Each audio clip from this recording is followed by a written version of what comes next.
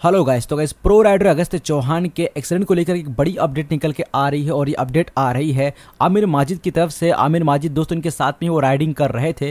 तो उन्होंने आज अपने चैनल पर एक ब्लॉग वीडियो अपलोड किया जहाँ पर उन्होंने क्या सीन हुआ था पूरा डिटेल में बताया और कई लोग ऐसा कह रहे थे कि आमिर माजिद की वजह से ही प्रो राइडर का एक्सीडेंट हुआ है। तो इस चीज़ को भी आमिर माजिद अपने वीडियो में क्लियर कर दिया कि उनकी वजह से वो एक्सीडेंट नहीं हुआ है। उस दिन बहुत ज़्यादा विंड ब्लास्ट था। एक्सीडेंट जो था मेरे पीछे हुआ। मैं कम से कम दो तीन किलोमीटर से आगे चल रहा था। टायर वगैरह ब्लास्ट होने के कारण जो है, ये सारी दुर्घटना हुई है। अभी इन्वेस्टिगेशन चल रही है, सारी चीज़ें कि हिट एंड रन का केस तो नहीं है। आमिर भाई, तुम्हारी बाइक जाके टकराई है। मैं मेरी बाइक जाके आपको नीचे दिखाता हूँ। टॉल से निकले यू टर्न मार के दोबारा तो ऑपोजिट साइड में टॉल आया। मैंने वो टॉल क्रॉस कर लिया था, मैं गस्ता का वेट कर रहा था। मैंने सोचा या तो गोप्रो की बैटरी चेंज कर रहा है। जब मैंने कॉल किया तो वहाँ से आगे की एक्सीडेंट हो चुका है भाई, आपके भाई का। तो मैंने ना आगे कॉल किया। मैंने कहा, दादा एक्सीडेंट हो गया है। सारे के सारे यू टर्न मारो। वहाँ से मैंने सीधा स्ट्रेच मारा। 35 किलोमीटर का। 35 किलोमीटर में हमें दादा भी मिल गया बाइक वहीं लगा दी। गाड़ी में यू टर्न मार के वहाँ पे सिर्फ़ अगस्ता की बाइक थी। एट द प्रेजेंट भाई मैं वहाँ पे था मैंने कोई ब्लॉग शूट नहीं किया। जब जो गाड़ी है जेड एक्स टेन आर